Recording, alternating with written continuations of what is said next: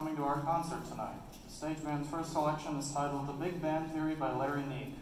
This swing piece is based on a blues form and will feature solos by alto saxophonist Nick Goldsmith, tenor saxophonist Joey Martin, and Keaton Landerman on his trombone. Please listen to The Big Band Theory.